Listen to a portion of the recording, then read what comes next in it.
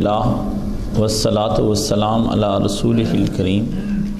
اما بعد فاعوذ باللہ من الشیطان الرجیم. بسم اللہ الرحمن الرحیم. وَإِذْ قَالَ رَبُّكَ لِلْمَلَائِكَةِ إِنِّي جَائِلٌ فِي الْأَرْضِ خلیفہ. عزیزان گرامی، موضوع گفتگو چل رہا تھا کہ انسان اپنے بارے میں کیا یہ شعور پیدا کرنا چاہتا ہے کہ وہ کون ہے؟ من انا کا جواب کیا انسان کے پاس ہے؟ تو انسان نے اس سوال کا جواب ڈھونڈنے کی بہت کوشش کی، لیکن انسان اس سوال کا جواب نہیں پا سکا۔ لیکن جب وہ ان سوالوں کو دائیں بائیں سے پوچھتا ہے کہ میں کون ہوں، تو اپنے ہی جواب دینے میں بہت غلطی کرتا ہے۔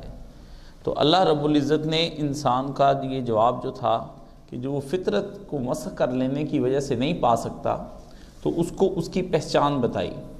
کہا اس سے پہلے کہ آدمی اس بات پر آ جائے کہ مجھے اپنی پہچان خود ہو نہ سکی۔ حالانکہ اپنی پہچان کرنا اس کے لیے کوئی مشکل بات نہ تھی۔ لیکن افسوس ہے یہ کہ اس نے چونکہ اپنی فطرت کو مسخ کر لیا، اس لیے اس کو اپنا ہی پتہ نہ چل سکا کہ میں کون ہوں۔ تو اس بنا پر اللہ رب العزت نے انسانوں کی طرف جو ہدایت دے کر بھیجی، اس میں ان سے انسان کو کا تعین کیا کہ تم کون ہو؟ تو اس کے لیے یہ میں نے آپ کے سامنے آیت پڑھی کہ وہ اس کال ربو کل تھی جب تیرے رب نے فرشتوں کے سامنے اپنا یہ پلان رکھا، کیا؟ انی جائل میں بنا رہا ہوں کیا؟ فلرز زمین پر خلیفہ ایک خلیفہ۔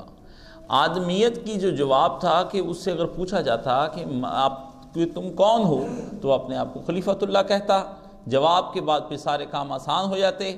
لیکن چونکہ اس نے اپنے وجود کو خود ہی تسلیم کرنے سے انکار کر دیا، کئی جگہ پہ اگنوسٹکزم کا شکار ہوا اور کہا، پتہ نہیں میں ہوں بھی یا نہیں ہوں۔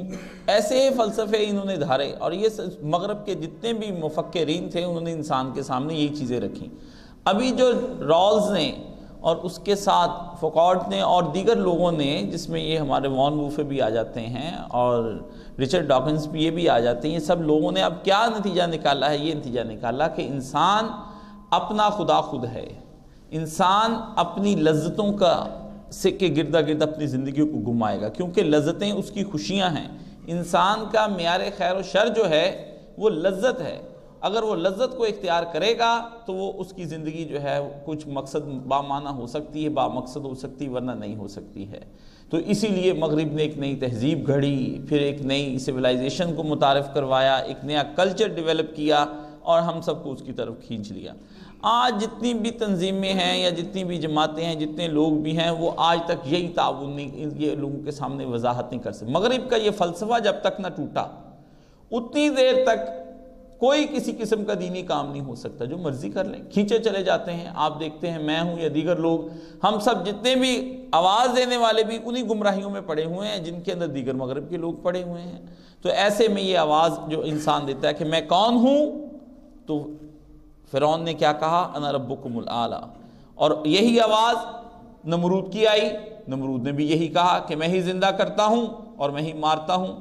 آج کا انسان کیا کہتا ہے؟ کہ میں اپنا خدا خود ہوں، میں اپنے خیر و شر کو خود متعین کروں گا، میں اپنی نیکی بدی کو خود متعین کروں گا۔ مجھے پتا ہے نیکی کیا ہے اور بدی کیا ہے، میں اس خود متعین کروں گا۔ تو اس کے نتیجے میں انسان بہکتا ہوا دور نکل گیا اور تین فلسفیوں کے ہاتھ میں چڑھا اور تینوں فلسفیوں نے اس کو گدا بنا دیا۔ ایک نے ڈاوین نے اس کو بنایا بندر دوسرے نے اس کو بنایا جنسی درندہ سیگمنٹ فرائیڈ نے اور مارکس اس کو سوشل اینیمل کے طور پر متعارف کرایا۔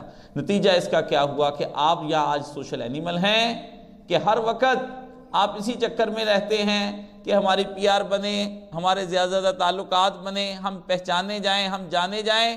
اس کے نتیجے میں ہم کیا ہے؟ دنیا کے فائدے اکٹھے کر سکیں۔ میں نے سوشل اینیمل مکمل ہوا اس کا قصہ۔ اور وہ اپنے لیے زمین پر کیا ڈھونڈتا پھرتا ہے؟ اپنے لیے وہ لذتیں ڈھونڈتا پھرتا ہے، وہ مالز میں دھکے کھاتا ہے تاکہ وہ اپنے لیے نتنے کپڑے تلاش کرے۔ وہ بڑے بڑے ہوٹیلز کے اندر کھانے کھانے کے لیے جا رہا ہے تاکہ وہاں پر جا کر کے وہ دیکھے کہ کیا کیا کھانے کی چیزیں موجود ہیں اور ان لذتوں سے آش نہ ہو جائے۔ یا پھر یہ ہے کہ وہ سیگمنٹ فرائڈ کی طرح اپنی جنسی جو درندگی ہے یا اپنی جنسی تسکین کے لیے وہ کیا کیا حربے استعمال کر رہا ہے، خود لذتی سے لے کر کے زنا کی آخری حدوں تک اور جانوروں سے زنا کرنے تک یہ آدمی کہاں تک نکل گیا ہے؟ یہ چیزیں اب سامنے آئیں اور اس کے بعد تیسرا عمل بالکل بندر کی طرح، اسی کو کسی جگہ سکون نہیں، کسی جگہ چین نہیں۔ ہر جگہ پر یہ بندروں کی طرح کی حرکتیں کرتا پھرتا ہے۔ اور آپ دیکھتے ہیں کہ جن کے ہاتھ میں طاقت ہے، وہ پوری دنیا میں بندروں کی طرح کس طرح تباہی مچاتے پھرتے ہیں؟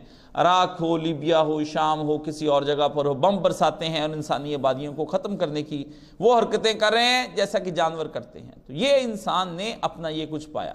تو جب تک انسان اپنے آپ کا یہ مان نہ لے کہ میں کسی کا بھیجا گیا ہوں یا پھر میں بندہ ہوں کسی کا، تو اتنی دیر تک آدمیت کس میں نجات نہیں ہو سکتی۔ دوسرا سوال یہ پھر آیا کہ میں کہاں سے آیا ہوں؟ یہ سوال آدمی کو، جب وہ کہتا ہے کہ میں وائرس تھا، میں پہلے یوں تھا کہ امیبا تھا، میں مٹی سے پیدا ہوا، ایک وائرس سے آگے سے آگے انسانیت نے خود جنم لیا، تو اس کو نہیں پتا چلتا میں کہاں سے آیا ہوں۔ لیکن جب اس کو یہ آواز آتی ہے کہ انی جائل ان کی آوازیں، اس کو وہ سنتا ہے کہ میں تو خلیفہ خدا ہوں، تب اس کی زندگی کا کوئی رخ متعین ہو جاتا ہے۔ وہ اپنی زندگی کے رخ کو کسی جانب لے جاتا ہے اور اس پر عمل پیرا ہونا شروع ہوتا ہے۔ جب تک آدمیت یہی سمجھی جا رہی کہ مجھے نہیں پتا میں کہاں سے آیا ہوں تو پھر اتنی دیر تک اس کو وہ اگلی منزل کا تعین نہیں کر سکتا۔ اس کی مثال ایسے ہی ہے۔ آپ میں سے کوئی آدمی یہاں ٹرین میں بیٹھ جائے اور وہ جا کر کے راستے میں لاہور کی طرف جا رہا ہو، آدھے راستے میں جا کر اس کا اگر حافظہ گم ہو جاتا ہے تو وہ وہاں پر کھڑا ہو کر یہی نہ اس کو پتا چلے میں کہاں سے آیا ہوں تو پھر وہ یہ بھی پتا نہیں کر سکتا مجھے کس طرف جانا ہے۔ جب اس کو اپنے آغاز سفر کا ہی نہیں پتا تو انتہائی سفر کا وہ کس طریقے سے پتا کر سکتا ہے۔ کیسے وہ اپنے سفر کی تکمیل کے تمام مراحل کو طے کرتا ہوا وہاں پہنچ سکتا ہے؟ یہ ناممکنات میں سے ہے۔ آدمی کو جب تک کہ آپ اس کی ابتدا سے آشنا نہیں کریں گے، اتنی دیر تک آدمی اپنی منزلوں کا تعین نہیں کر سکتا۔ اتنی دیر تک وہ اپنے رب کی طرف سفر نہیں کر سکتا۔ یہ آدمیت کا سب سے بڑا مسئلہ ہے کہ اس کو ایک حیوانی جانور کے طور پر متعارف کرانے کے بعد یہی کہا گیا ہے کہ ایک حیوانی وجود ہے اس کے پاس۔ اس کے علاوہ اور کچھ نہیں، اور اسے حیوانی وجود کے لیے ہی وہ ساری زندگی تگودو کرتا ہے۔ جب آپ اس کو وائرس کہہ چکے ہیں، جب آپ اس کو بندر کہہ چکے ہیں، جب آپ کے اس کو اس کے ارتقاء کی داستانیں سنا رہے ہیں، تب وہ پھر کیا ہوگا؟ وہ ایک حیوانی وجود کے طور پر اپنے آپ کو سمجھنے لگے گا۔ تو حیوانی وجود کیا ہے؟ وہ اللہ نے قرآن مجید میں فرما دیا کہ بعض لوگ کیا ہیں؟ کلا نام بل ہم ازل ان میں سے کچھ ایسے ہیں جو جانوروں کی طرح ہیں، بلکہ ان سے بھی برتر ہیں۔ حیوانی وجود کا یہ تقاضا ہے۔ کیا تقاضا ہے حیوانی وجود کا؟ کہ آپ بچے جنے جیسے حیوان جنتے ہیں، آپ کھانا کھائیے جیسے کہ حیوان کھاتے ہیں، آپ پیئے جیسے حیوان پیتے ہیں اور آپ رہیے جیسا کہ حیوان رہتے ہیں۔ اگر انہیں گرمی سردی کا احساس ہوتا ہے، وہ اپنے آپ کو چھپا لیتے ہیں تو آپ کو بھی گرمی سردی کا احساس ہوتا ہے۔ وہ بچوں کے لیے وہ بھی گھر بناتے ہیں۔ چڑیا بھی گھونسلہ بناتی ہے، شیر کی کچھار ہوتی ہے۔ ہاں سانپ بھی اپنی بل کے اندر رہتا ہے۔ چونٹی بھی اس بات کا دراک رکھتی کہ گھر ہونا چاہیے۔ اگر آپ نے یہ دراک رکھ لیا کہ گھر ہونا چاہیے تو آپ کا چونٹی کا کیا فرق ہوا؟ سانپ کا اور آپ کا کیا فرق ہوا؟ شیر کی کچھار کا اور آپ کا کیا فرق ہوا؟ یم اس چڑیا کا اور یعنی آپ کا دماغ ابھی تک ان جانوروں کی سوچ اور تدبر کی حدود کے اندر ہے، اسے اوپر نہیں اٹھا ہے۔ تو حیوانیت جب تک آپ پر تاری رہے گی، آپ اتنی دیر تک انہی چیزوں کے اندر پھنسیں گے۔ آپ کے ہم بڑے آسن طریقے سے اس کو آپ کو بنایا گیا۔ ہمارے قریب کے ایک لیڈر گزرے ہیں، اسی کے نعرے کو لے کے اب سارے لیڈر آگے بڑھ رہے ہیں۔ پہلے اس کا انکار کرتے تھے اس کے دور میں، جب اس کو خوب پھانسی دے دی، پھر اس کے بعد پھر ہم سب اسی کی جانب ہو گئے۔ روٹی، کپڑا اور مکان۔ آپ کی یہ تین چیزیں تھیں، اس پر آپ کو نعرہ دیا گیا۔ اس سے آپ کو تبدیلی کا آغاز دیا گیا، اس سے آپ کو سوچیں دی گئیں۔ اب آپ اسی روٹی کپڑا اور مکان میں پھنسے ہوئے ہیں۔ جو آپ کو روٹی، کپڑا، مکان دے دے گا، وہی آپ کا سچا لیڈر ہے۔ جو آپ کو یہ نہیں دے گا، وہ آپ کا لیڈر نہیں ہو سکتا ہے۔ یعنی آپ کے اہداف غلط کر دیے گئے۔ آپ کے اہداف کچھ اور تھے۔ آپ روٹی، کپڑا، مکان والا معاملہ آپ کے ساتھ نہیں تھا۔ محمد رسول اللہ صلی اللہ علیہ وسلم نے آ کر انسانوں کو روٹی، کپڑا اور مکان کی آواز نہیں لگائی۔ پیغمبر نے آ کر کہا کولو لا الہ الا اللہ فتفلحو۔ او بھائی، سب کہہ دو کہ اللہ کے سوا کوئی نہیں ہے۔ تم فلاح پا جاؤ گے۔ ہم نے اپنی فلاح کا سارا دار و مدار رکھ دیا روٹی پر یا کپڑے پر یا مکان پر۔ نہ بلال کے روٹی کے انتظام کیے، نبی علیہ السلام نے سہیب کے مکان کا انتظام کیا یا پیغمبر خدا نے امار کے کپڑے کا انتظام کر کے اس کو آواز دی تھی؟ اگر یہ معاملہ تھے تو یہ تو وہ عربوں کو اس بات پر قائل کر سکتے تھے۔ اس پر تو حلف الفضول ہو چکا تھا۔ وہ لوگ نبی علیہ السلام سے ایک حلف ہو چکا تھا سب کا آپس میں کہ جہاں پر کسی کے ساتھ زیادتی ہوگی ہم وہاں پر جائیں گے۔ یعنی تحریک انصاف بھی تھی موجود، عدل بھی تھا وہاں پر موجود کہ ہم کسی کے ساتھ بے انصافی نہیں ہونے دیں گے۔ ان کے ہاں یہ بھی تھا کہ لوگ اگر بھوکے مریں گے تو ہم ان کو روٹی کھلائیں گے۔ حضور نے فرمایا، کاش یہ ایسا معاہدہ پھر ہو جائے تو میں اس پہ پھر آ جاؤں۔ لیکن پیغمبر نے ان الگ ہو کر کے ان سے کیا ایک آواز لگائی، جس کی طرف انسانیت کو دعوت دی۔ افسوس کا مقام تو یہی ہوا کہ انسانوں کو جن چیزوں سے نکالنا تھا، انہی چیزوں میں اس انسانیت کو الجھا کر رکھ دیا گیا۔ دکھائیے قرآن مجید میں، خلیفہ کے پلان کے اندر کیا یہ تھا کہ تم زمین پر جا کر گھر بناؤ؟ آٹھ آٹھ دس دس کنال کے تم گھر بناؤ، بڑی بڑی تم کوٹھیاں بناؤ، بڑے بڑے فارم ہاؤس بناؤ۔ خلیفہ کے پاس یہ تھا کہ تم نت نئے کپڑے روز پہنو۔ یہ بنائنزہ سے شروع ہو کر کے ونٹر روپ تک اور وہاں سے لے کر آؤٹ فٹر تک تم یہ خریدتے پھرو۔ یا یہ کہا تھا کہ تم روزانہ اتنا کھاؤ کہ پیزا ہٹ سے نکلتے ہو تو پیزا شاپ میں چلے جاؤ۔ پیزا شاپ سے نکلتے ہو تو کسی بڑے ہوٹل کے اندر چلے جاؤ۔ وہاں سے نکلتے ہو کسی ریسٹورنٹ میں نکل جاؤ۔ نہ یہ تھی انسانیت کی آواز۔ کہ ان کو روٹی، کپڑا اور مکان دیا جائے۔ اس خلیفے کی ذمہ کیا تھا؟ کچھ تو انسان سوچے کہ اس خلیفہ کی ذمہ کیا تھا۔ جب تک انسانیت کو یہ نہ پتا چلے کہ میں کہاں سے آیا ہوں، من آئین دوسرا سوال، من انا کے بعد من آئینہ کہاں سے سفر کا آغاز کیا گیا ہے؟ اتنی دیر تک انسانیت اپنے اہداف پورے نہیں کر سکتی ہے۔ انسانیت کے اہداف پورے کرنے کے لیے اس کو بتانا پڑے گا کہ تم نامعلوم جگہ سے نہیں آئے ہو، بلکہ بھیجے گئے ہو۔ یہ اس کو ذہن نشین کرانا پڑے گا۔ اگر انسانیت کو ذہن نشین یہ نہیں کرایا جاتا کہ تم بھیجے گئے ہو، تو اتنی دیر تک انسانوں کو یہ کوئی کام نہیں کر سکتے کہ جس سے انسانیت فلاح پا سکے۔ انسانیت ترقی ضرور کرے گی۔ ترقی کرے گی، وہ بڑے بڑے ڈیم بنائے گی، وہ بڑے بڑے پل بنائے گی، وہ بڑی بڑی بلڈنگیں بنائے گی، وہ بڑے بڑے ہاسپٹلز بنائے گی، وہ بڑے بڑی عمارتیں تیار کرے گی، برج العرب۔ وہ خدا کو چھونے کی کوشش بھی کرے گی۔ وہ فضاؤں میں سپتنک بھی بھیجے گی، وہ چاند گاڑی بیچ کر کے چاند کو بھی چھولے گی، وہ مریخ کو بھی ہاتھ لگانے کی کوشش کرے گی، وہ اپنے سیاروں کو تارک کی طرف بھی بڑھا دے گی۔ بڑھائے گی؟ انسانیت کیوں نہیں بڑھائے گی؟ انسان جائے گا، بہت اوپر تک جائے گا۔ یہ انسانیت کی ترقی ہے، لیکن یاد رکھو ترقی ترقی۔ یہ تم جس کو ترقی کہتے ہو، یہ مسلمانوں کی فلاح نہیں ہے۔ فلاح کچھ اور ہے۔ ترقی نہیں، ترقی کی راہیں الگ ہیں، فلاح کی راہیں الگ ہیں۔ قد افلح المومنون اللہ نے جو قرآن مجید میں فرمایا، مومن فلاح پا گیا، مومن ترقی بھی کہا، مومن ترقی کر گیا۔ مومن کی ترقی کیا ہے؟ یہ نہیں ہے جو کفار کر رہے ہیں۔ مومن فلاح کی راہوں کی جانب سفر کرتا ہے۔ جب تک کہ آپ انسانیت کو یہ کہیں گے کہ تم ایک حیوانی وجود تھے اور اس کا بتائیں گے نہیں تم کہاں سے آئے ہو، تو اتنی دیر تک انسانیت فلاح نہیں پا سکتی ہے۔ کوئی صورت نہیں۔ جب آپ اس کو بتائیں گے، تم کہیں سے بھیجے گئے ہو۔ تو ضرور پھر اس کے ذہن میں یہ سوال پیدا ہوا ہوگا کہ میں کہیں سے اگر بھیجا گیا ہوں تو کس کام کے لیے بھیجا گیا ہوں؟ یہ سوال اس کے اندر پیدا ہوگا۔ پھر وہاں سے کیا ہے کہ مجھے کیا کرنا ہے؟ ما فعل۔ کیا فیل کرنا ہے مجھے؟ فیل کیا ہوگا میرا؟ ما عمل۔ کیا عمل ہوگا میرا؟ عمل کیا ہوگا؟ یہ اس کا سوال پھر اگلا پیدا ہوگا کہ کچھ بھی کرنا ہے یا کچھ خاص کرنا ہے؟ کچھ بھی کرنا تو یہ ہے کہ پھر ساری زندگی تم ڈاکٹر بن جاتے ہو اور پھر ساری زندگی آپریشن ہی کرتے گزر جاتی ہے تمہاری، یہ تم آنکھ کے ڈاکٹر ہو، ہاتھ کے ڈاکٹر ہو، تم ناک کے ڈاکٹر ہو، کان کے ڈاکٹر ہو، نہیں ہو، تو ساری زندگی تم مکھیوں پر ریسرچ کرتے ہوئے مغرب کی طرح گزار دیتے ہو، کتوں پہ ریسرچ کرتے گزار دیتے ہو ہاں مگر مچھوں پہ تمہاری ساری زندگی گزر جاتی ہے۔ ہاں سنیک کے اوپر تمہاری زامپوں کے اوپر زندگی گزر جاتی ہے۔ رات کو چیتے آپس میں کیسے لڑتے اس پہ زندگی گزر رہی ہے تمہاری۔ ہاں اور تم نیشنل جیوگرافی کو علم سمجھ کر قبول کرتے چلے جاتے اور گھنٹوں اس پر صرف کر دیتے گویا قرآن مجید پڑھ رہے ہو۔ تمہیں علم کے نام پر بے علمی دی جاتی ہے یعنی کچھ بھی تو کرنا ہے۔ اس کچھ بھی کرنا کے اندر یہ تحقیق اور مطالعے کے نام پر تم کو متعارف کرایا جاتا ہے۔ پھر کچھ بھی کرنا کے نام پر فضاؤں سے چھلانگ لگانا، پیراشوٹ سے چھلانگ لگاؤ، اتنے ہزار فٹ کی بلندی سے کیا ہو جائے گا؟ انسان سے کیا فرشتے ہو جاؤ گے تم؟ اتنے ہزار کی فٹ کی یا ماؤنٹ ایورسٹ کے اوپر چڑھ جانے سے تم کیا بن جاؤ گے؟ خدا بن جاؤ گے؟ کچھ بھی کرنا کے ذمرے میں یہ آتا ہے کہ تم یہ دیکھتے ہو کہ تمہیں کچھ بھی تو کرنا ہے۔ گینس بک آف ریکارڈ کے اندر جو چیزیں لکھی جاتی ہیں، وہ کچھ بھی تو کرنا ہے۔ کوئی تو کام کرنا ہے۔ اس کے لیے کبھی تم کہتے ہو کہ میں بل فائٹنگ کروں گا۔ کبھی تم انٹرٹینمنٹ کے نام پر کرکٹ کو متعارف کراتے ہو اور کروڑوں خربوں روپے کا جوا اس کے اوپر کراتے ہو۔ یعنی کچھ بھی تو کرنا ہے مجھے۔ جب کچھ بھی کرنا ہے تو پھر آپ کی راہیں جو ہیں وہ وہ نہیں ہو سکتی جو آپ کے رب نے متعین کی ہیں۔ آپ کی راہیں اپنی بنائی ہوئی ہیں۔ تو آپ کیا ہوئے پھر؟ آپ اپنے خدا خود ہوئے۔ آپ اپنے خالق بھی سمجھتے ہیں، خود ہی ہیں۔ سب کچھ آپ اپنے آپ کو ہی سمجھتے چلے جا رہے ہیں۔ تو انسان پھر کیا کرے گا؟ لا جانی کاموں کے اندر اپنی زندگی کو صرف کرے گا۔ پھر آپ اور میں کیا کریں گے؟ اور تو اور، اگر کچھ نہیں ہو سکتا تو یوں کر کے بیٹھیں گے اور ایک سیلفی خریدیں اسی وقت اس کو اپلوڈ کر دیں گے۔ سیلفیوں پر آ گیا انسان۔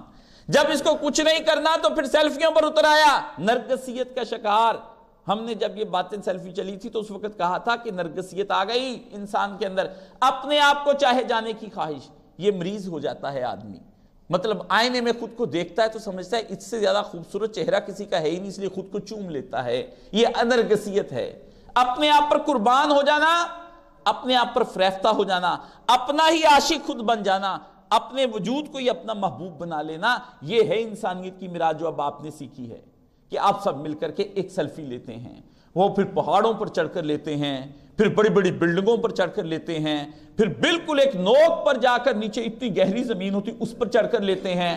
پھر آپ ایک بہت بلند کھمبے کے اوپر چڑھ کر اس پر آپ سیلفی لیتے ہیں۔ آپ کو اس کام پر لگا دیا گیا کہ آپ اپنے خدا خود ہیں۔ سیلفیوں کے مریض ہم سیلفی بھی ہو گئے۔ ہاں ہم بھی ہو گئے۔ ہم مولانا بھی ہو گئے۔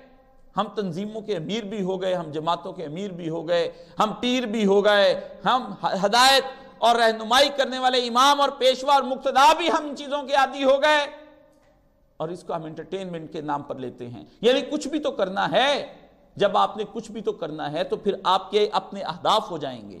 لیکن جب آپ کو کچھ بھی تو نہیں کرنا، بلکہ کچھ خاص کرنا ہے، کیوں؟ آپ جہاں سے بھیجے گئے ہیں، کسی ہدف کے لیے بھیجے گئے ہیں۔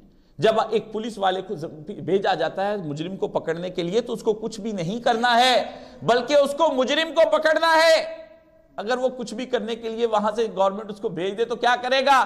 وہ اپنے فرائض سے غفلت برتے گا اور زمین پر پھر کیا ہوگا؟ ظاہر الفساد فی البر والبحر، زمین پر پھر فساد پھیل کر رہ جائے گا خشکی تری میں تم کو فساد ہی فساد نظر آئے گا۔ کچھ بھی کرنا کا زمرہ یہ ہے آتا ہے۔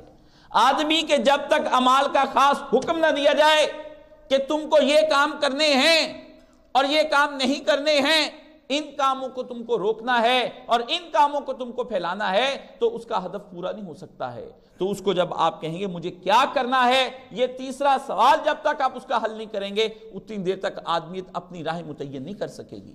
آج کے نوجوان کو کہیں کچھ بھی کرنا ہے، تو جب وہ کچھ بھی کرنا ہے، تو اس کو آرٹس رکھوا دیتے ہیں آپ لوگ۔ کیوں؟ آرٹس کے بعد اس کا جو مرضی کرنا ہے۔ لیکن اگر آپ نے ڈاکٹر بنانا ہے تو میڈیکل رکھوانا پڑتا ہے آپ کو۔ اگر انجینئر بنانا ہے تو ایف ایس سی میں داخلہ لے کے دینا پڑتا ہے آپ کو۔ اگر آپ نے اپنے بچے کو کمپیوٹر کا ماسٹر بنانا ہے تو پھر آپ کو اس کو آئی سی ایس کروانا پڑتا ہے۔ آپ اس کی کچھ بنیادیں باندھتے ہیں۔ آپ اس کو کسی اچھے اسکول کے اندر سے اس کو سائنس اسٹوڈنٹ کے طور پر نکالتے ہیں۔ آپ اس کے لیے ٹیوشنز رکھتے ہیں، کتابیں خرید کر دیتے ہیں اور اس کے لیے سہولیات بہم فراہم کرتے ہیں کیونکہ آپ کو کچھ بنانا ہے۔ لیکن اگر آپ کو کچھ بھی نہیں بنانا ہے، تو پھر آپ اس کو رہنے دیجیے، اس کو کوئی بھی کام آپ اس کا نہیں کر سکتے۔ یہی معاملہ اللہ کا ہے کہ جب تک انسانوں کو کچھ بھی کرنا ہے، تو وہ اپنا وقت ضائع کریں گے۔ وہ زمین کا سینہ چیر کر بھی نکلیں گے۔ وہ پہاڑ کا سینہ چیر کر بھی دوسری طرف نکل جائیں گے، وہ آسمان کی وسطوں کی طرف بھی سفر کریں گے، وہ دریاؤں اور سمندروں کے اندر جا کر بھی اپنی شادیاں کریں گے۔ ہیں؟ کبھی پڑھا ہے، کبھی تم نے اپنی داستان پڑھنی ہو، تو صرف دنیا نیوز کا وہ پیپر دیکھ لیا کرو جس میں عجیب و غریب قسم کی چیزیں آتی ہیں۔ عجیب و غریب چیز کے نام خود ہی لکھتے ہیں، یہ عجیب اور غریب ہے۔ یعنی حیران کن حد تک انسان یہ کام کرنے لگا ہے۔ یعنی آپ اپنی چاہت کے اندر کہ مجھے الگ سے متعارف میں ہو جاؤں، تو کیا کیا غلیظ حرکتیں انسان کر جاتا ہے، آپ تصور نہیں کر سکتے ہیں۔ اس چیز نے انسان کو کس کو کچھ بھی کرنا ہے، اس نے تباہی کے دھانے پر کھڑا کر دیا ہے۔ اب اس کی صلاحیتیں، اس کی قابلیتیں، سب کی سب چیزیں کس طرف کو سفر کر رہی ہیں، کیا ہمیں یہ سمجھنا نہیں ہے؟ ہاں اگر ہم کو یہ نہیں سمجھنا ہے تو وہی ہے۔ تو پھر مجھے یہ بتائیے کہ مومنین اور کافرین کی راہیں الگ الگ ہیں یا ایک ہیں؟ اگر مومنین اور کافرین کی راہیں الگ الگ ہیں، تو نظریہ حیات بھی سمجھ لیجیے ایک ہی ہے۔ یہ ایمان بھی پھر ایک ہی ہے۔ پھر اسلام جس شے کا نام رکھا ہے، وہ بھی ایک ہی ہے۔ پھر مذہب بھی ایک ہے۔ یہ تو منہ کی باتیں ہیں۔ ہم مسلمان ہیں اور تم کافر، لیکن کام ہمارے ہم دونوں کے ایک سے ہیں، اس لیے ہم دونوں کی باتیں امال بتا رہے ہیں کہ نظریہ حیات متعین کرنے میں ہم دونوں نے ایک ہی راہ اختیار کی ہے۔ ہم دونوں ایک ہی بات پر متفق ہوئے اس لیے نظریات کی راہ۔ اور پھر اس کے بعد انسان کہا کہ مجھے کدھر جانا ہے؟ مجھے کدھر جانا ہے؟ آج کا انسان یہ کہتا ہے، جو آواز اس وقت لگی تھی نبی علیہ السلام کے دور میں کہ مجھے مر کر فنا ہو جانا ہے۔ ہاں مجھے فنا ہو جانا ہے۔ کوئی عورت کے وجود میں فنا ہونا چاہتا ہے۔ دیکھیے ایک ایسی بات ہے، محبتوں کے ہم کو تو ہونا ہے تجھ میں فنا، سبحان اللہ۔ یہ مسلمانوں کے گانے سنتے ہیں، مسلمانوں کی نسلیں یہ گانے بناتی ہیں۔ ہم کو تو ہونا ہے تجھ میں فنا۔ ایک عورت کے وجود میں جس مرد کو فنا ہونا ہے، تو اس کا پھر خدا کون ہوا؟ وہ عورت اس کا خدا ہوئی۔ اب اس عورت کے لیے وہ کیا کرے گا؟ پھر وہ آپ کی اولادیں سرکش ہوتی ہیں۔ آپ کی اولادیں نافرمان ہوتی ہیں، وہ پھر اپنے گھر کی روایات کو توڑتی ہیں، وہ رسوم و رواج کو توڑتی ہیں، وہ پھر تمہارے خیالات کو توڑتی ہیں، پھر وہ تمہاری عزتوں کو چھوڑ کر لڑکیاں بھاگتی ہیں اور لڑکے بھگا کر لے کر جاتے ہیں۔ یہ ہوتا ہے پھر فنا۔ آپ کے وجود جب فنا ہو جائیں گے ایک عورت کے اندر، تو پھر اس کا نتیجہ کیا نکلے گا؟ آپ اپنی نوجوان نسل کو یہی تو دے رہے ہیں اور ہم کیا دے رہے ہیں اپنی نسل کو؟ لیکن اگر ہم نے فنا ہونا ہے تو پھر ہم کس چیز میں فنا ہو رہے ہیں؟ ہم فنا ہو رہے ہیں، اپنی دولت کے اندر فنا ہو رہے ہیں۔ ہم اپنی کاروبار کو بڑھانا چاہتے ہیں، ہم اس میں فنا ہو رہے ہیں۔ صلاحیتیں سب کی فنا ہو جائیں گی۔ نیک کی بھی، بد کی بھی، اچھے کی بھی، برے کی بھی، نبی کی بھی، غیر نبی کی بھی، سب کی۔ کوئی ایسا فرد نہیں جس کی صلاحیتیں فنا نہ ہو جائیں۔ لیکن کوئی فنا فی دنیا ہو جائے گا، کوئی فنا فی اللہ ہو جائے گا۔ یہ فنا فی اللہ کے طریقے تھے۔ تو کیا سوال پیدا مجھے کدھر جانا ہے؟ تو اگر آدمی کے ذہن میں یہ ہو کہ مجھے عدالت الہی میں جانا ہے اور پھر اس کے تصور سے آدمی کی رات کی نیندیں حرام نہ ہو جائیں، تو پھر کہیے ہمیں؟ آج کا آدمی عدالت الہی میں نہیں جاتا۔ آج کا آدمی یہ کہتا ہے، کیا یا ہم آگ میں چلے جائیں گے، جلا دیں گے لوگ ہم کو؟ یا ہم مٹی میں چلے جائیں گے، دفنا دیں گے لوگ ہم کو؟ پھر داستان نہ ہوگی ہماری داستانوں میں۔ ہماری پھر داستانوں میں داستان نہیں ہوگی، لیکن اگر یہی احتساب کی عدالت میں جانے کا ہو تو مجھے کیا بتائیے، مجرمین کے یہ چال ہوتی ہیں، یہ چلن ہوتے ہیں مسلمانوں کے؟ یعنی ایک مجرم آدمی کے اور ایک کام کرنے والے آدمی کے یہ چلن تو نہیں ہوتے جو ہمارے اس وقت چلن ہیں۔ مغرب نے آدمی کو یہ بتایا کہ تم کھاؤ، پیو اور دنیا سے جتنی لذتیں کشید کر سکتے ہو، وہ ساری کی ساری لذتیں کشید کر لو۔ اور جو چیز چاہتا ہے تم کرو۔ آقا دو عالم صلی اللہ علیہ وآلہ وسلم نے یہ فرمایا، آدمی بہترین وہی ہے جو اپنی زندگی کو لغو کاموں اور بہودہ کاموں سے پاک کر لے۔ پاک کر لے اپنے آپ کو لغو کاموں سے، بے فائدہ کاموں سے پاک کر لے۔ مجھے بتائیے، بے فائدہ کاموں کے اندر کیا چیز نہیں آ جاتی ہے؟ کون سی چیز ہے جو ہم فائدے والی کرتے ہیں؟ واٹس اپ ہم چلائیں، فیس بک پر ہماری راتیں گزر جائیں۔ ویڈیو کالز کرتے کرتے ہماری بس ہو جائے۔ پیکج پر باتیں کریں ہم۔ اور پھر بتاؤ اور سناؤ اور سناؤ، تے پھر تے پھر تے پھر سے آگے سے آگے جملے نکلتے چلے جائیں۔ اللہ کے نبی نے فرمایا، یہ زبان آدمی کو جہنم کی طرف لے جائے گی جو ایک گھنٹہ پیکج پہ چلتی ہے۔ ایک گھنٹہ پیکج پہ چلتی ہے، پانچ روپے گھنٹہ۔ یہ آپ نے کتنا سستا مول ڈالا، اس کا پانچ روپے پہ آپ نے اپنی زبان بیچ لی۔ ایک عورت اب پانچ روپے پہ اپنی زبان بیچتی ہے۔ جو زبان اس کو جہنم کے گھڑوں میں گرا دے گی، وہ پانچ روپے میں بک گئی۔ اور بکری چگلی پر، بکی غیبت پر، بکی دھوکے پر، بکی حسد پر ہاں بکی دوسروں کی برائیوں پر پانچ روپے گھنٹہ پیکج ٹاک شاک چلے ساری رات ساری رات چلے جب تک بات چلے۔ بات چلتی ہے۔ ساری رات چلتی ہے، لیکن خدا کی نافرمانی میں چلتی ہے۔ اللہ کے نبی نے فرمایا، لغو تھی وہ یہ چیز۔ لیکن انسان نے کہا، نہیں، اسی کو زیادہ چلاؤں گا۔ پیغمبر نے پھر یہ دیکھو، عجیب بات ہے کہ دن میں جب آغاز صبح ہوتا ہے تو سب جسم اسی اسی کے سامنے، اس لوتھڑے کے سامنے سوال کرتا ہے، ایک استدا کرتا ہے اس کے سامنے کہ تم اپنے آپ کو ٹھیک رکھنا۔ ہم تیرے پیچھے ہیں۔ جب تو ہی غلط ہو جائے گی تو ہم تیرے پیچھے جہنم میں چلے جائیں گے یا جنت کے اندر چلے جائیں گے۔ تو سب سے زیادہ کون سی چیز چلی؟ زبان۔ اور زبان پر پھر کیا ہوا؟ بکی کتنے روپے پر؟ پانچ روپے پر۔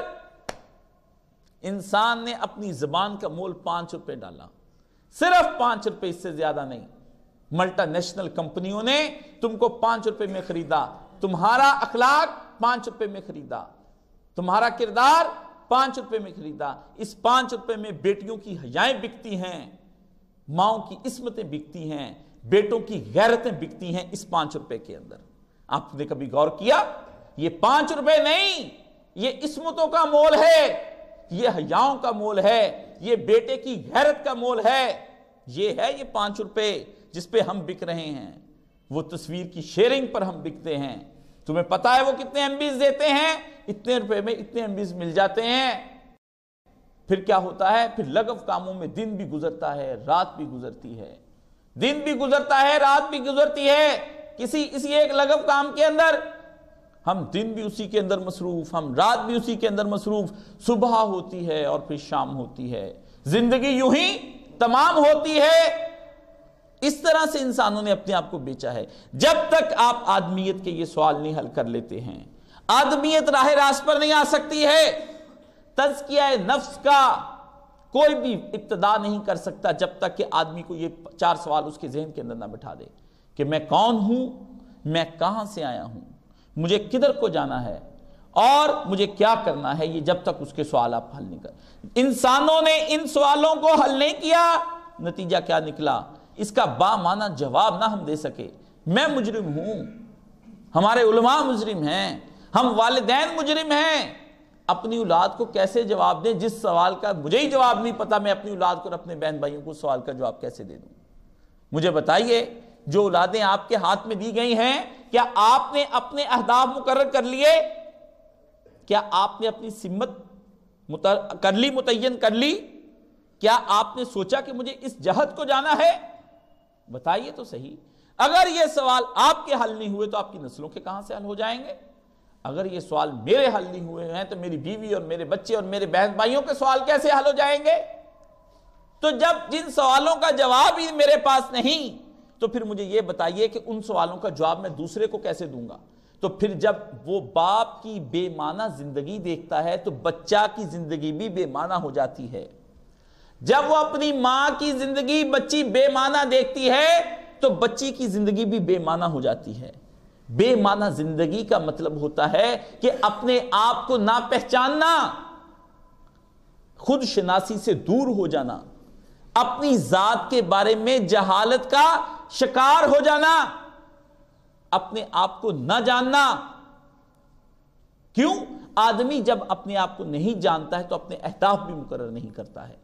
جب وہ اپنے اہداف مقرر نہیں کرتا ہے، تو وہ اہداف کے اندر کوئی مقصد نہیں آتا ہے۔ اور جب زندگی بے مقصد با مقصد نہیں ہوتی ہے، تو بے مقصد ہو جاتی ہے، تو پھر چلو تم ادھر کو جدھر کی ہوا ہو۔ پھر جدھر کی ہوا چلے گی، اب آندھی اٹھی ہے، بے حیائیوں کی تو اس آندھی میں آپ بہ رہے ہیں۔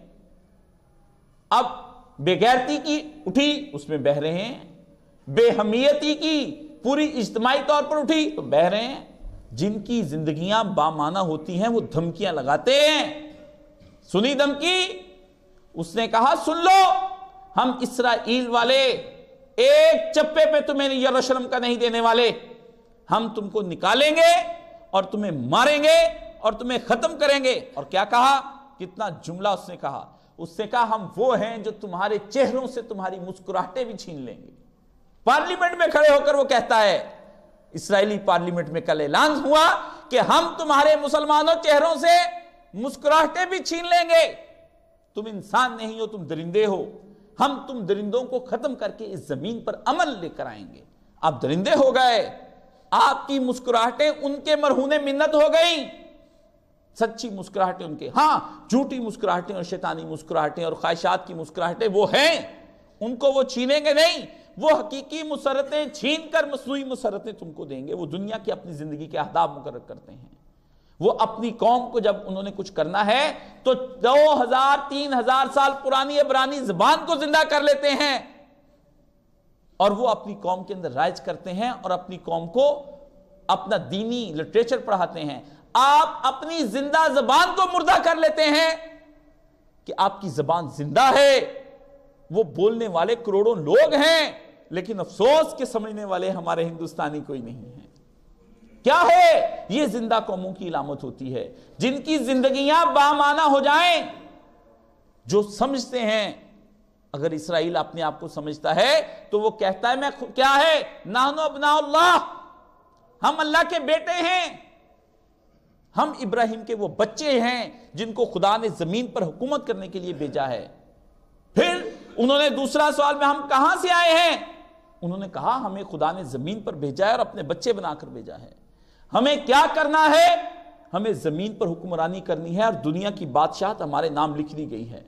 اور پھر ہم کیسے اس کی بارگاہ میں پہنچیں گے؟ جب ہم جائیں گے تو وہ خدا ابراہیم علیہ السلام کو جہنم کے دروازے پر بٹھا دے گا۔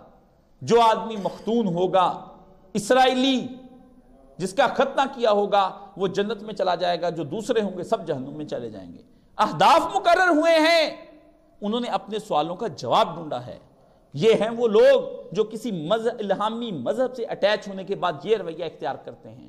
اور ایک ہیں وہ لوگ جو غیر الہامی نظریات سے جڑتے ہیں ایگنوسٹکزم سے جڑتے ہیں یا ایتھزم سے جڑتے ہیں سیکولرزم سے جڑتے ہیں یا لبرلزم سے جڑتے ہیں۔ ڈیموکریٹک پارٹیاں بنتی ہیں یا ریپبلکن بنتی ہیں۔ ان کے اپنے اہداف، ان کا سوشلزم کا اپنا اہداف، وہ بھی اپنا سوال پیدا کرتے ہیں کہ ہم کون ہیں؟ ہم کہاں سے آئے ہیں؟ ہمیں کیا کرنا ہے؟ ہمیں کدھر کو جانا ہے؟ یعنی مذہبی بھی اپنے آپ کو جوڑتے ہیں، غیر مذہبی بھی جوڑتے ہیں۔ مجھے بتائیے ہمارا رشتہ کن سے ہے؟ ہم غیر مذہبی ہیں یا مذہبی ہیں؟ ہم الہامی روایت سے جڑے ہوئے لوگ ہیں یا غیر الہامی روایت سے جڑے ہوئے لوگ ہیں؟ ہمارا یہ سوال جب تک نہیں حل ہوتا ہے، اتنی دیر تک ہماری زندگی کی راہیں بھی متعین نہیں ہو سکتی ہیں۔ انسانیت کو اس طرح سے گھیرا ہے انہوں نے۔ آپ کے ہاں چوچو کا مربع بن گیا ہے۔ ہم ایک مکسچر ہیں۔ ہمارے کلچر ہماری تہذیب سب کو ملیا میٹ کر دیا گیا۔ ان لوگوں نے اپنی تہذیب بنائی۔ کیسے بنائی؟ انہوں نے کہا، پوری دنیا پر ایک طرح کے کپڑے چلیں گے۔ میں نے بھی پینٹ کوٹ پہن لیا، آپ نے بھی پہن لیا۔ انہوں نے کہا، پوری دنیا ایک کھانا کھائے گی۔ ہند، سندھ سے لے کر افریقہ، امریکہ سے لے کر عرب سے لے کر خود بیت اللہ شریف کے باہر بھی برگر بکے، یہاں ریڑی پہ بھی برگر بکے، امریکہ پہ بھی برگر بکے۔ انہوں نے کہا، ہم اس طرح کے گھر بنائیں گے۔ میرا گھر بھی ایسا، عرب کے رہنے والے کا بھی ویسا، امریکہ کے رہنے والے کا بھی ویسا، امیر محترم کا بھی ویسا، غریب محترم کا بھی ویسا۔ مفلس کی چاہتے ہیں کہ ایسا بن جائے۔ امیر کہتا ہے میرا ایسا بن گیا، اسی کے گردا گرد۔ جو تہذیب وہ آپ کو دے دے، وہ تہذیب آپ کی ہے۔ جس کلچر کو وہ ڈیولپ کر لیں فیشن کے نام پر آپ کو وہ اختیار کرنا پڑتا ہے۔ اگر آپ کی میری بیٹی وہ لہنگا نہیں پہنتی شادی پر، جو ان ہے، تو اس کے سسرال والے کہتے ہیں کہ آپ نے ہماری انسلٹ کروا دی ہے۔ ہماری بچی کو آپ نے وہ نہیں پہنایا۔ اگر آپ ویسا کھانا نہیں دیتے ہیں اور اسی طرح نہیں دیتے ہیں جیسے جانوروں کو ڈال دیتے ہیں، تو وہ کہتے ہیں، ابھی آپ نے کھانا نہیں صحیح کھلایا۔ ہاں؟ بتائیے، جہاں یہ تہذیب، اگر آپ یہ کہتے ہیں کہ ایسے کپڑے سلوالو کہنے لگے، اب نہیں، اب تو یہ بہت پرانا ہو گیا، کچھ نئے سلوائیے، نیا ڈیزائن آیا ہے۔ جو وہ کہہ دے تم جس رنگ کا کپڑا کہہ دو، وہی کپڑا ہم پہنے اور جس حرف پہ تم انگلی رکھ دو، وہ حرف ہی روشن ہو جائے۔ ہم؟ جس حرف پہ وہ انگلی رکھ دیتے ہیں کفر، اگر وہ کفر کو روشن کرنا چاہتے ہیں، تو آپ کفر ہی لیں گے۔ اگر انہوں نے ایمان کو تاریکی میں بھیج دیا ہے، تو آپ تاریکی کا سفر نہیں کبھی بھی کریں گے۔ ان کو پتا ہے خود کو روشن کیسے کرنا ہے۔ ان کو پتا ہے اپنے آپ کو متنور کیسے کرنا ہے۔ ان کو پتا ہے خود کو کیسے متعارف کرنا ہے۔ ان کو پتا ہے کہ ہم روشنی کے مینار کیسے بنے ان کے۔ وہ آپ کے لیے روشنی کے مینار بن کے آپ کو دکھاتے ہیں۔ آپ ان کے اہداف پورے کرنے کے لیے ان کی طرف کا سفر کرتے ہیں۔ کتنے ہیں یہاں اور مجھ جیسے اور باہر کے اور تمہارے ملک کے اندر جو آج بھی یہ چاہتے ہیں کہ کسی طریقہ سے امریکہ بہادر ان کو ویزا دے دے، ہم یہاں سے چلے جائیں۔ جو یہاں سے جانا نہیں چاہتے نا، ان کا بڑا اچھا یہاں کام شام چل رہا ہے۔ اس لیے وہ کہتے ہیں، میرا جی نہیں چاہتا جانے کو۔ ورنہ کون سی ادا وہاں نہیں جس پر فریفتہ ہونے کو جی نہیں چاہتا؟ اور کون سا محبوب کی وہ دل ربائی نہیں کہ جس پر بندے کا جان دینے کو جی نہیں چاہتا؟ ہم؟ بتائیے تو صحیح۔ دنیا ہی ایسی بنا دو کہ آدمی کا ادھر جینا محال ہو جائے اور ادھر جینے کی چاہتے بڑھ جائیں۔ آدمی وہاں لمبی طویل عمریں گزارنا چاہتا ہے۔ وہاں کا یہاں آنا نہیں چاہتا۔ یہاں کا یہاں رہنا نہیں چاہتا۔ وہ آتے ہیں، ایک سال کے بعد برین ڈرین کرتے ہیں۔ آپ کے سب کی سب قابلیت اور ذہانتیں، میڈیکل پڑھا، سب پڑھا ہوا اٹھا کر لے جاتے ہیں۔ رہ گیا چھان برا۔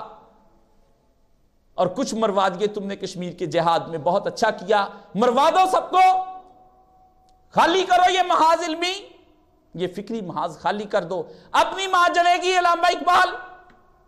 اب صرف گولی چلانے والی ماں جنے گی۔ وہ جنے گی۔ گولیوں سے تم اپنی زندگیوں کو متعارف کراتے ہو۔ تمہارے نام تمہیں کیا سے کیا سبق پڑھا دیے جاتے ہیں؟ کتنے سال ہو گئے؟ کہاں اور سلیبی جنگیں تھی کہ صحابہ کہتے تھے کہ جنگ فتح نہیں ہوتی تو ہم میں عیب ہے۔ ورنہ پھر یہ ایک معاملہ ہو نہیں سکتا خدا نصرت کرنا ہے کہاں آپ ستر ستر سالوں سے جنگ لڑتے ہیں اور آپ ابھی تک رسوا ہو رہے ہیں؟ آپ کی سنوائی نہیں ہے۔ اور آپ خوش ہو جاتے ہیں کہ سلامتی کونسل میں ایک سو اڑسٹھ ووٹ ان کے خلاف پڑ گئے۔ نہ وہ پینتالیس آپ کو یاد نہیں آتے جو آئے ہی نہیں۔ جو آئے ہی نہیں، وہ کیوں نہیں آئے؟ جو خلاف پڑے ہیں ان کے، وہ اس لیے پڑ گئے کہ ابھی تک ان کے حصے نہیں ان کے گھر پہنچے۔ جس دن حصے پہنچ جائیں گے، اس دن وہ بھی ووٹ ان کو ڈال دیں گے۔ کب تک ہم کریں گے؟ آدمیت کے سوال کا حل کیجیے، نوجوان طبقے کو کوئی فکر دیجیے۔ اس کو بتائیے تم کون تھے؟ تم ان کو لت نہ ڈالیے سیاستوں کی، ان کو لت نہ ڈالیں ان تبلیغیوں کی۔ ان کو کہیے کہ اپنے مطالعوں سے اپنے دماغ کو روشن کریں۔ مگر وہ علم کے موتی وہ کتاب میں اپنے آبا کی۔ دیکھے جو ان کو یورپ میں تو دل ہوتا ہے سی پارا۔ اقبال اس وقت روتے تھے جب وہاں پر کتابیں وہ ہماری لے گئے۔ کتابیں ہم لے آئے ہیں۔ یہ لائبریریاں بڑی بڑی ہیں۔ لیکن پڑھنے والا کوئی نہیں ہے۔ تفسیروں کی تفسیریں لکھی پڑی ہیں۔ اقبال، آؤ ذرا لوٹ کر۔ اٹھو دوبارہ اپنی قبر سے۔ آؤ میری جامعہ سلفیہ کی لائبریری دیکھو۔ آؤ میری جامعہ تربیہ کی لائبریری دیکھو، مرکز الدین الخالص کی لائبریری دیکھو، اقبال۔ اورینٹل کالج کی لائبریری دیکھو، اقبال۔ پنجاب یونیورسٹی کو پڑھو، اقبال۔ جامعہ کراچی کی یونیورسٹی کو دیکھو، اقبال۔ آؤ ان لائبریریوں کو دیکھو۔ کتابیں کبھی وہاں ماتم کنا ہوتی تھیں، آج یہاں وہاں کنا ہیں۔ کیوں ہیں؟ کیونکہ تمہارے فکری محاذ پر کوئی بیٹھا ہوا نہیں ہے۔ تمہارے فکری محاذ کو خالی کیا انہوں نے پہلے۔ جب یہ خالی ہو گئے تو تمہارے جذباتی محاذ کو بھر دیا اس جگہ پر۔ جذباتی محاذ پر تم کو لے جا کر مارا، پھر تم ایک ان کا مارتے ہو، وہ ستر تمہارے مارتے ہیں۔ پھر تمہارے گاؤں کی عورتوں سے کشمیر کی اور زیادتیاں کرتے ہیں۔ گاؤں کے گاؤں جلا دیتے ہیں۔ گولیوں سے بھون کر ان کی شکلیں بگاڑ دیتے ہیں۔ تم نے کتنے مارے؟ دو۔ جواب میں کتنے مرے؟ سو فکری محاذوں کو خالی کر کے جذباتی محاذوں کو جا کر بھرتے ہو، یہ عملی نہیں ہے۔ رسول اللہ کی اسٹریٹجی کے خلاف ہے، دعوت کے محاذ کی یہ خلاف ہے۔ برملا کہنے دو مجھے یہ، بھلے کچھ ہو جائے، آسمان پھٹے یا زمین پھٹے، مجھے یہ کہنا ہے۔ یہ تم کو لوٹتے ہیں، یہ تمہارے رہنما نہیں رہزن ہیں۔ جو تمہاری بچوں کی قابلیتوں کو قرآن سے ہٹا کر، حدیث سے ہٹا کر اور تمہارے دینی محاذوں سے، فکری محاذوں سے ہٹا کر کے کسی اور محاذ پر بٹھا رہے ہیں۔ ان سے کہو کہ تم اپنے بچوں کو بھی کوئی محاذ دیتے، کوئی دنیا کے اندر کیوں؟ کیوں روتے ہو ان حکومتوں کے لیے؟ کس لیے روتے ہو ان حکومتوں کے لیے؟ کس لیے روتے ہو؟ اقبال تو ماں نے کفر کی گوشت سے جنگ کر تم کو دیا تھا۔ اس وقت انگریز کی حکومت تھی۔ اس انگریز کی حکومت کے اندر چراغ بی بی نے اقبال کیسے دے دیا؟ قائد اعظم محمد علی جناح انگریز کی کفر کی حکومت میں پیدا ہو کر کے پھر تمہارا رہنما بنا۔ آج تمہاری اپنی حکومتیں ہیں، تم ستر سال سے بچہ کوئی نہیں دے سکے۔ کوئی دوبارہ اقبال نہیں مائیں؟ پیدا کیا بانج ہو گئی مائیں؟ باپ ختم ہو گئے۔ وہ نطفے تخلیق نہیں ہوتے۔ بتائیں نا، آپ اس لیڈر ہی پیدا کوئی نہیں کر سکے۔ کوئی مجتہد الاسد نام کا لیڈر جس کو سیاست آتی ہے، اس کو قرآن نہیں آتا ہے۔ جس کو قرآن آتا ہے، اس کو سیاست نہیں آتی ہے۔ بتائیے، آپ کی بڑی بڑی جماعتوں کے امیروں کے حال تو دیکھیں۔ جماعت کا امیر مجتہد الاسر و زما ہوا کرتا تھا۔ اب یہ حالت ہو گئی کہ سوا تقریروں کے اور حکومتوں کے الٹنے کے اور کوئی کام نہیں۔ یہ قیامت برپا ہے۔ میں وہاں آواز دیتا ہوں جہاں سہرا معلوم ہوتی ہے۔ یہ سہرا کو اٹھاؤ۔ اس کے اندر سے کوئی چیز پیدا کرو، کوئی بچے دو، ان کو کچھ بناؤ۔ کوئی ماں سے کہے کہ وہ حلال رزق کے لیے آج بھی بکری پالے اول پر سے بچے کو نہ پالے۔ پیڈیا شور سے بچے کو نہ پالے۔ شوہر کی حرام کی کمائی سے بچہ نہ پالے۔ کوئی ماں مرگیاں رکھتی ہے۔ کوئی بکری رکھی اس نے کہ اس کو بیچ کر کہ شوہر کی کمائی مشتبہ ہے۔ وہ تو خود کہتی ہے کہ شوہر کی کمائی تم حرام لاؤ، ہم حرام سب مل کے کھائیں گے۔ پھر کیا ہوگا؟ ماں بھی ہوگا، باپ بھی ہوگا، بہنیں بھی ہوں گی، بیٹے بھی ہوں گے، شادی بھی ہوگی، مہندی بھی ہوگی۔ سب حرام کر کے کٹھا حرام کھیلیں گے بھی، ناچیں گے بھی، کودیں گے بھی، کیونکہ خوشیاں اسی کا نام ہے، جینا اسی کا نام ہے، زندگی اسی کا نام ہے۔ یہ ہے قیامت آئی ہوئی۔ آپ کہتے ہیں سوال نہ اٹھاؤ ان کے لیے، سوال نہ اٹھاؤں میں کس پر خطبے دوں؟ کس جنت کا تم کہتے ہو خطبہ دوں؟ جس جنت کا منکر یہ تمہارا بچہ ہو گیا، اس کے لیے تو سوئٹزرلینڈ جنت ہے، اس کے لیے تو پولینڈ جنت ہے۔ کس جہنم سے ڈراؤں؟ کہ جس جہنم کا تصور اس کے ذہن میں نہیں آتا ہے۔ کس خدا کا خوف دلاؤں کہ جس کے وجود کے بارے میں تمہارا بچہ مشتبہ ہو گیا ہے؟ کس نبی سے محبت اس کی کرواؤں؟ کہ جو چودہ صدیاں پہلے آیا تھا، آج اس کو اپڈیٹ کرنے کی تمہاری نسلیں کہتی ضرورت ہے، وہ وقت نہیں رہا، بدل گیا وہ وقت۔ جب حدیث کی ضرورت ہی نہیں رہی گی، آپ کے یہاں فرقہ پیدا ہو جائے گا کہ حدیث کی ضرورت نہیں ہے، تو پھر محمد رسول اللہ صلی اللہ علیہ وسلم کی ضرورت بھی ختم ہو گئی۔ وہ تو پھر ڈاکیا بن کر رہ گئے، پھر وہ مسنجر بن کے رہ گئے۔ کس آخرت کی باتیں کرتے ہو؟ وہ کہتے ہیں، یہ جہان میٹھا ہے۔ اگلا کس نے دیکھا ہے؟ یہ میٹھا ہے۔ کہاں سے جائیں گے وہ؟ ان کو تو چاہیے دن رات یا گریڈ ان کے بڑھیں پرموشنز ہو رہی ہیں، اسی میں نوکری والوں کی زندگیاں ختم ہو رہی ہیں۔ اور ادھر ادھر چاہتا ہے کاروبار بڑھتا چلا جائے۔ پیروں کے آستانے پر، مولویوں کے آستانے پر ہمارے گردہ گرد، وظیفہ بتاؤ، رزق کیسے بڑھے؟ تاکہ میں اس اولاد کو وہ لا کر کھلاؤں اور ساری رات کی حرام زدگیوں میں گزارے اور صبح فجر کے وقت کوئی نمازوں کے اندر نہ آئے۔ کیوں؟ کس لیے؟ آپ بھی پاس سو رہے ہوتے ہیں، بیٹا بھی پاس سو رہا ہوتا ہے۔ آپ کی جرت نہیں جوان بیٹے کو اٹھا کر کے مسجد میں ساتھ لے جائیں۔ جو باپ مسجد میں ساتھ ہی لے جا سکتا وہ جنت الفردوس میں کیسے ساتھ لے جائے گا؟ کیسے لے کر جائے گا؟ خوف زدہ ہیں اپنی بیویوں سے۔ خوف زدہ ہیں تم اپنی اولادوں سے۔ خوف زدہ ہو تم اپنی بیٹیوں سے۔ بیٹی جیسے مرضی کپڑے پہن کر جائے، تم روک نہیں سکتے ہو۔ بیٹا جو مرضی کما کر لائے، تم روک نہیں سکتے ہو۔ بہووں کے دروازے نہیں کھٹکھٹاتے صبح کے وقت کہ بڈا خود سونے بھی نہیں سوتا اور ہم کو بھی سونے نہیں دیتا۔ آپ کی جرانے چھوٹتے ہیں اگر آپ رات کو کسی دوست کے ہاں شادی پر نہیں جاتے تو وہ آپ کے جرانے چھوٹ جائیں گے۔ اس کے لیے نماز فجر چھوٹ جائے یرانہ نہ چھوٹے۔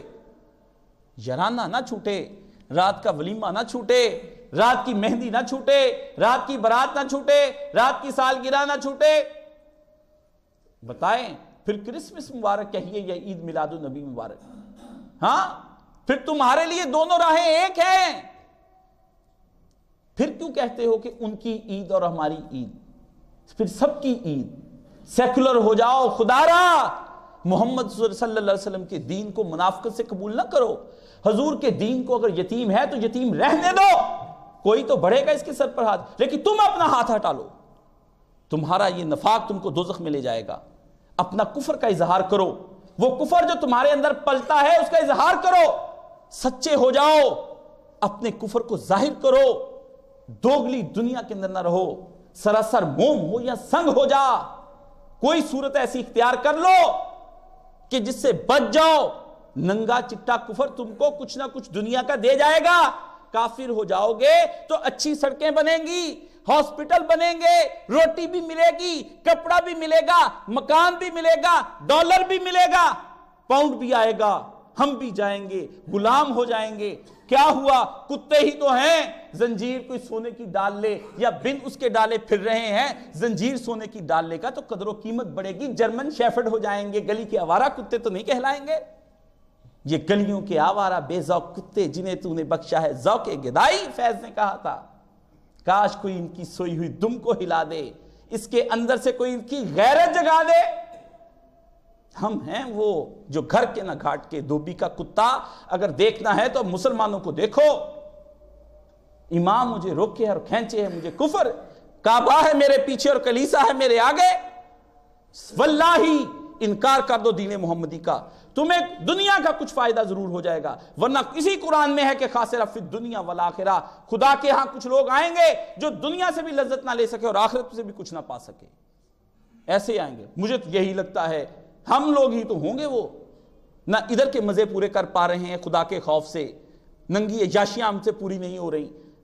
ہم ادھر سے حاجی بھی رہنا چاہتے ہیں اور ادھر سے عیاشی بھی رہنا چاہتے ہیں۔ عیاش اور حاجی ہاں نمازی اور عیاش؟ نمازی فویل للمسلین کن کے بارے میں ہے؟ چار نمازوں کی حفاظت اور رات کو ایک نماز کو فجر کی کو ترک کرتے ہو۔ اس کی محافظت سے خود اٹھاتے ہو اپنا ہاتھ۔ نہ بچوں کو لا سکو، نہ تم خود آ سکو۔ کہاں پر ہو؟ خود ہی کوئی نہ کوئی آ جائے گا۔ یہ نبی کا دین ہے۔ اس کی حفاظت کا ذمہ اس نے لیا ہوا ہے۔ واللہ منافقین سے اس کی تائید نہ لی جائے گی۔ نہیں لی جائے گی۔ عہد کے اندر ایک ہزار لوگ نکلے تھے۔ رئیس المنافقین عبداللہ ابن عبی تین سو بندوں کو لے کر واپس چلا گیا تھا نبی علیہ السلام کے دور میں۔ سات سو رہ گئے، جنگ ہوئی، مسلمان شہید ہوئے۔ ظالم کے ہاتھ میں بات آ گئی۔ کہنے لگا، انہی چکروں کی وجہ سے میں اپنے بندوں کو ساتھ ہی لے کر گیا تھا۔ ہاں اللہ نے قرآن مجید میں کہا، اگر ان کی غلطیوں کی وجہ سے بھی ان پر آفت آئی ہے نا، تو آج جو مر گئے ہیں اللہ کو کچھ بندوں کی ضرورت پڑ گئی تھی، اس لیے اللہ ان کو لے گیا۔ جب حمایت میں بولتا ہے تو واللہ میں پوچھتا ہوں، الہی، تیرا کیا کہنے؟ کیا عدل؟ جب حمایت میں بولتا ہے تو جو تیرے سے تھوڑی وفا کرتے ہیں تو ان کے گناہوں کو بھی نیکیاں بنا کر قبول کر لیتا ہے۔ ہم؟ وہ وفائیں دیکھتا ہے کہ وفائیں کس طرف کو جا رہی ہیں۔ امال کی کمی بیشی کوئی مسئلہ نہیں۔ امال کی کمی بیشی، لیکن یہاں کمی بیشی نہیں، یہاں ترک امال ہے۔ یا کمی بیشی نہیں ہے۔ نماز کا چھوٹ جانا نماز میں کمی بیشی نہیں، نماز کا ترک ہے۔ اور ترک وہ ہے کہ یہاں پائے جاؤ۔ تو جب پائے نہیں جاؤ گے تو کیا مطلب؟ غیر حاضر گرے جاؤ گے۔ تو پھر کیوں ہیں کہ ہم اپنے ان سوالوں کو حل کرنے کی بجائے مغرب کی طرف جا بیٹھے ہیں؟ ہم نے ان کے سامنے جھولیاں پھیلائی ہوئی ہیں۔ ہمارے اہداف وہ متعین کریں۔ ہم کو وہ بتائیں ہم کون۔ ہم کو وہ بتائیں ہم نے کہاں جانا۔ ہم کو وہ بتائیں ہم نے کرنا کیا۔ ہم کو وہ بتائیں ہم نے کھانا کیا۔ ہم کو پہننا کیا اوڑنا کیا، لیٹنا کیا۔ شادی وہ بتائیں، مرگ وہ بتائیں۔ سونا وہ بتائیں، جاگنا وہ بتائیں، اٹھنا وہ بتائیں، لیٹنا وہ بتائیں، بولنا وہ بتائیں۔ آپ کی نسلیں یہ وہ مسلمان ہیں جن کی نسلیں اب یہ پچاس پچاس ہزار روپیہ کورس دے کے یہ سیکھتی ہیں کہ بولنا کیسے ہے۔ How to speak politely course ہوتے ہیں پچاس پچاس ہزار روپے دے کر کے۔ یہ مسلمانوں کے بچے بچیاں سیکھ رہے ہیں۔ جن کی ایک آیت ان کے لیے کافی تھی کہ وکول الناسی حسنا۔ لوگوں سے ذرا خوش اسلوبی سے گفتگو کرنا۔ ہمارے تو لٹریچر میں پہلے نصاب میں یہ کچھ ڈال دیا گیا تھا۔ تم یہ سیکھنے کے لیے جاتے ہو۔ جہاں بولنا ان سے سیکھیں، پہننا ان سے سیکھیں اوڑنا ان سے سیکھیں، ہر چیز وہ ہمارے زندگی کے اہداب متعین کریں۔ مجھے بتائیے پھر کہاں پر ہیں؟ جب آپ کو وہ بتائیں کہ مین از اے سوشل اینیمل جب آپ کو بتائیں وہ سیکشل اینیمل جب آپ کو وہ آپ کو بتائیں تو پھر یہی بتائیں کہ آپ کیا ہیں؟ کھانے والے جانور اور کچھ نہیں۔ دھکے کھاتے پھرتے کھانے کے لیے۔ ہم نے جی فلاں کی باٹی کھائی تھی، کیا سبحان اللہ۔ فلانے کے باربی کیوں کھائے تھے، قربان اللہ۔ ہاں؟ اسی میں صبح اور اسی میں شام۔ پورے پورے ٹی وی بنا دیے انہوں نے، تمہارے مسالہ ٹی وی بن گیا۔ ہاں؟ ہم ٹی وی، تم ٹی وی، یہ بنا کر دے دیے کہ گھر میں چوبیس گھنٹے وہ تمہاری لذتوں کا خواتین اہتمام کریں۔ کبھی ان سے پوچھو ان خواتین نے تمہارے نسلوں کو محفوظ کرنے کا کوئی انتظام کیا؟ جو عورت تمہارے وجود جسمانی کو محفوظ کر رہی ہے، وہ عورت دراصل تمہارے ادھر سے وجود روحانی کو تباہ بھی تو کر رہی ہے۔ کبھی بیوی سے پوچھا شام کو آ کر کے کہ تم نے اور میرے بچوں نے پانچ نمازیں میری عدم موجودگی میں پڑھی تھی؟ کوئی روحانی غذا ان کو دی؟ وہ تو خود بھی سو رہی ہوتی ہے، آپ بھی سو رہے ہوتے ہیں۔ سات بجے آپ کی آنکھ کھلتی ہے۔ کیوں؟ دنیا کا کفر پڑھانے کے لیے آٹھ بجے آپ کو ان کے کفر خانوں میں بھیجنا ہے۔ بھاگ رہے ہیں، بھاگ رہے ہیں۔ سات سے لے کر آٹھ بجے تک اس قدر دوڑ ہوتی ہے، سڑکیں اس قدر جام ہو جاتی ہیں۔ یہ سکول بھرا پڑا، وہ سکول بھرا پڑا، وہ سکول میں جا رہے ہیں۔ کفر سیکھنے کے لیے، نافرمانیاں، گستاخیاں سیکھنے کے لیے بھجواتے ہو وہاں پر۔ لاکھ روپیہ فیس دیتے ہو، سال میں رزلٹ آتا ہے تو گورنمنٹ بتاتی ہے کہ اس وقت ترپن فیصد پاس، باقی سب کے سب فیل ہو گئے۔ ان کے رات کو موبائل دیے ہیں۔ جی میں نے پتا کرنا ہوتا ہے بیٹا کہاں ہے۔ بیٹا، اس وقت تمہارا جہنم سے بات کر رہا ہوتا ہے جب تم اس سے پوچھ رہے ہوتے ہو۔ وہ شیشے کی جہنم ہوتی، محفل جس میں وہ بیٹھا ہوتا ہے شیشہ پی رہا ہوتا ہے۔ وہ ایک جہنم میں بیٹھا ہوتا ہے۔ اس کے ساتھ ایک حرافہ بیٹھی ہوتی بازو میں بازو ڈال کر کے، جس وقت بیٹا تمہیں اطلاع دیتا ہے کہ بجی دوستوں کے ساتھ ہوں۔ ایک حرافہ کو گود میں لیے بیٹھا ہوتا ہے۔ وہ رات کو ایک پارٹی منا رہے ہوتے ہیں۔ ہاں؟ وہ فیملی جو دوستوں کی گیدرنگ ہوتی، کبھی تمہیں پتا چلا کون سی گیدرنگ ہے؟ وہ وہاں سے تمہیں اطلاع کرتا ہے کہ دوستوں کے اندر ہوں۔ یہ وہ دوست ہیں جن کے بارے میں آیا کہ لو کن تو متخذ خلیلا، یا لیتنی ہے کاش، میں نے اس کو یار نہ بنایا ہوتا۔ اے کاش، میں نے اس کو یار نہ بنایا ہوتا۔ ان یاروں میں بیٹھتا یہ جا کر کے، اس کو بلا دیا سبق تم نے۔ کیوں یہ سبق پہلے تم بھولے ہو؟ تم بتاتے نہیں؟ اپنی نسلوں کو ہم آرائی ہیں، ہم جاٹ ہیں، ہم ہندوستان سے آئے تھے۔ بتاتے ہو؟ کیوں بتاتے ہو؟ ہندوستان چھوٹ گیا تین نسلوں قبل، لیکن بتاتے ہو امرتسر سے آئے تھے، لدھیانہ سے آئے تھے، لکھنؤ، فیض آباد سے آئے تھے، سہارنپور ضلع ہمارا ہوتا تھا۔ بتاتے ہو نا؟ ہم شیخ ہیں، شیخ وہاں سے آئے تھے، کشمیر سے سفر کیا شیخوں نے ارائیوں نے، عرب سے سفر کیا، راجپوتوں نے، وہاں سے سفر کیا۔ بتاتے ہو نا؟ تو کیوں بتاتے ہو؟ کس لیے بتاتے ہو؟ تعصب مضبوط کرنے کے لیے بتاتے ہو۔ تعصب مضبوط کرتے ہو ان کا صوبائی اور لسانیت اور ذات برادری کا۔ ادھر اس کو نہیں بتاتے ہو کہ تم کون بیٹا؟ ہم خلیفہ تھے۔ نہیں، یہ بتانے والا کوئی نہیں۔ بیٹا محمد کی امتی ہیں، بتانے والا کوئی نہیں۔ بیٹا، ہم تھوڑے وقت کے لیے زمین پر آئے ہیں، بتانے والا کوئی نہیں۔ بیٹا بدکاریوں ہم نے نہیں کرنی، بتانے والا کوئی نہیں۔ بیٹا، نماز پانچ وقت بادشاہ کے دربار میں حاضری کا نام ہے، بتانے والا کوئی نہیں۔ بیٹا، ہم بہت مشکلوں میں گرے ہوئے ہیں۔ ہر آدمی ہمیں جہنم میں لے جانا چاہتا ہے۔ ہم جنت میں، جنت کے راہی ہیں۔ اس لیے بیٹا، ہمیں محفوظ زندگی گزارنی ہے۔ Save life. سیو لائف تو تمہاری ہوتی سیف گارڈ صابن سے۔ اس سے ہوتی تمہاری زندگی محفوظ۔ تمہارے سیف کرنے کے انداز بھی اور۔ کس کس بات پر تن، ہما، داغ داغ، شد، پمبا، کجا کجا، نہیں ہم۔ کس کس بات پر رکھوں پا؟ کدھر کدھر رکھوں کہ ہر پورے کا پورا جسم برباد ہو کے رہ گیا؟ کچھ تو بتاؤ، کس پر رو ماں کا کوئی ایک بچہ مرا ہو تو روئے ماں۔ ماں کے تو جوان پتروں کی لاشیں کٹ کے گھروں میں آ گئی ہیں۔ بڈیا کس کس پہ روئے؟ بارہ کے بارہ جوان تو مرے پڑے ہیں اس کے۔ امت کا کوئی فرد تو زندہ ہو، کوئی پہلو تو بچ جائے۔ دل خون و جان فگارو جگر، ریشو سینہ چاک۔ ہم خود بے گو کے جان نہ کشم آہ درد ناک۔ میں وہ دردناک آہ کیسے نہ بروں کہ دل میرا خون ہو گیا، جگر میرا چاک تم نے کر دیا ہے اور جانتا تار ہے۔ کیسے نہ میں آہیں بروں مجھے کہتے ہو، آہیں نہ برو آہیں بھرنی پڑیں گی۔ کیوں؟ میری جان رات تار تار کر چکے ہو۔ کیوں؟ جگر ٹکڑے ٹکڑے ہو گیا ہے۔ دل کا خون کر دیا ہے تم نے۔ اب میں گرم آہیں بھی نہ بروں تو پھر کیا کروں؟